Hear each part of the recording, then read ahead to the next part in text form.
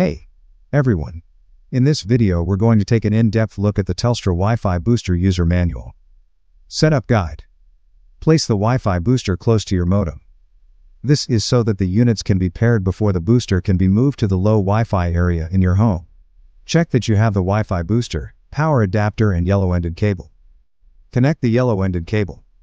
Insert one yellow end of the cable into the yellow port at the back of the Wi-Fi booster. Insert the other yellow end into any of the yellow ports on the back of the modem. Power up the Wi-Fi booster. Plug the booster power adapter into a power point so that your equipment is set up as per the diagram above. Switch the power point on. Check that there is now a light showing on the front of the Wi-Fi booster. Wait for the pairing process to complete. The light on the front of the unit will change color during the process. The light will pulse between purple and blue when starting up. The light will turn a solid blue. After 3 minutes. Get ready to move. The Wi-Fi booster is now paired and ready to be moved to its new location in your home. Unplug the Wi-Fi booster power adapter. Detach the yellow-ended cable from both units. Move the Wi-Fi booster to its new location where the Wi-Fi signal is low.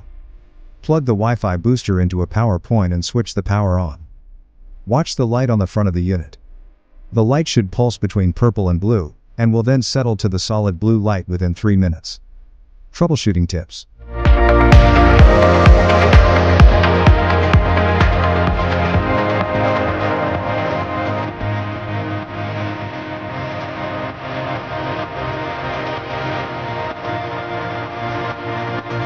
For more updates subscribe to our channel.